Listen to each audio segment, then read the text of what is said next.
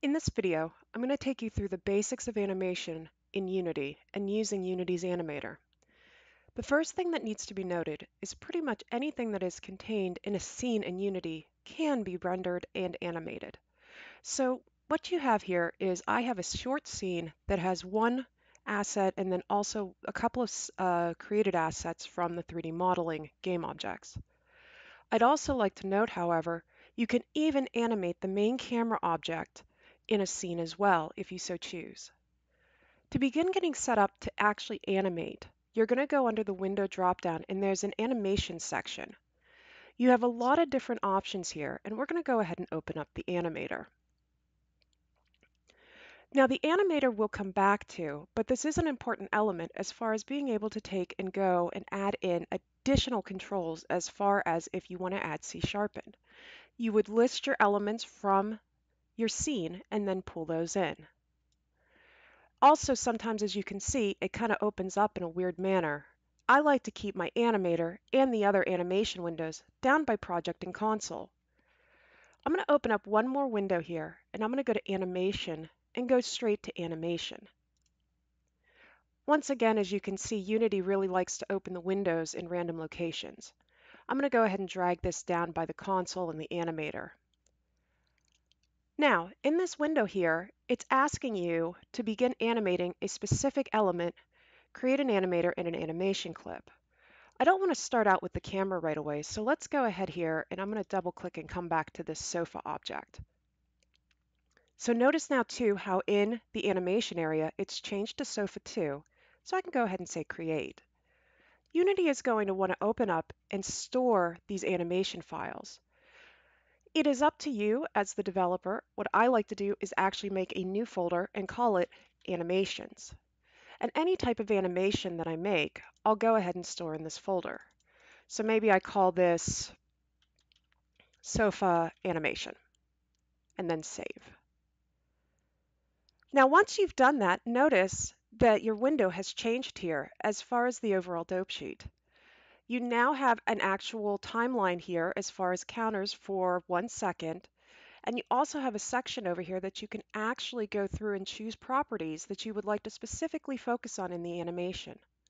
So for instance here, if I do add property, you can see that not only can I do an overall transform, but because of this sofa's asset construction, I can actually choose each of the different elements here. However, for right now, I'm going to go ahead and stick to transform, and I'm going to go ahead and choose position. My goal here is that I want to animate the sofa maybe moving back and moving over to the left there. So when you figure out what you'd like to do, all the way at the end from position, you should see a little plus symbol. If I click on that, you can now see that I have an overall layout as far as the sofa positioning controls. Now to talk a little bit about this left-hand side here, there is a small arrow next to the sofa positioning options that if you click down here, you can actually extend out and see your X, Y, and Z position changes. If you look to the right, currently you should see some diamonds that have now appeared. These are normally in animation what we call keyframes. These are notations to the program as far as storing information of where an object should be at a specific point in time. To demonstrate this, if I go ahead here and I grab this white line here, which is often called a playback head, and I'm going to position it by clicking and dragging and placing it at 30 seconds. I'm going to go ahead now into my scene. I already have my position tool active on the sofa, and I'm going to push it back. Now you're not actually done here yet. We now need to go through and record this movement. To do this, you do have a couple of options. If you only moved it on a specific axis, you can actually change just for that axis. If you notice here when I'm doing the different movements here, I'm only moving on the Z.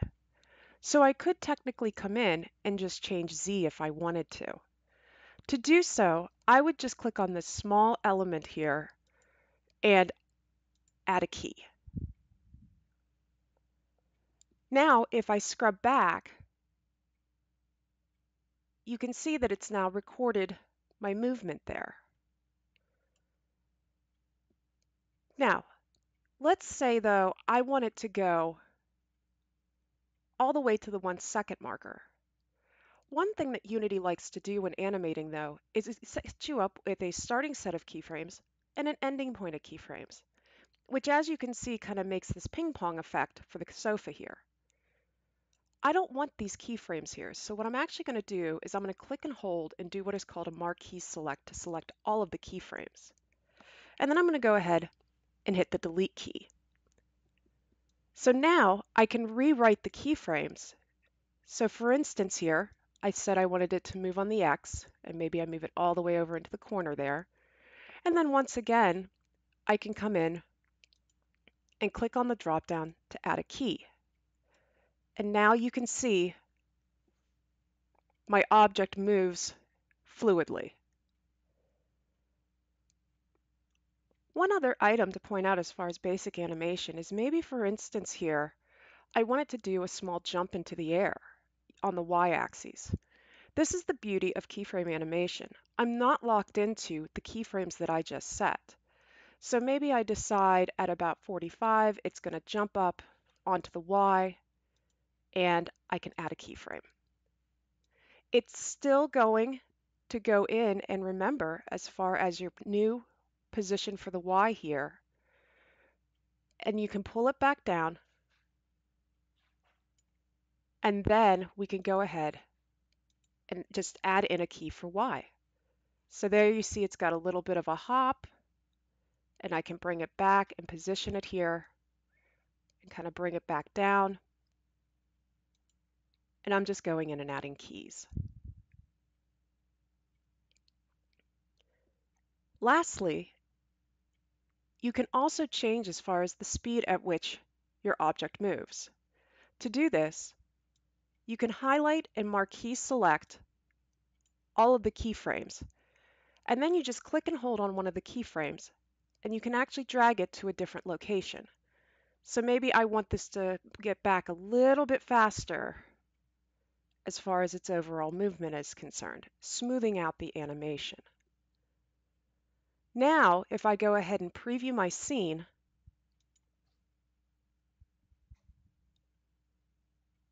you can see how the animation moves. With the introduction of C Sharp, you'd be able to actually play through this and have it stop once, it, once the animation is over. But that's the basics as far as getting started with animation inside of Unity.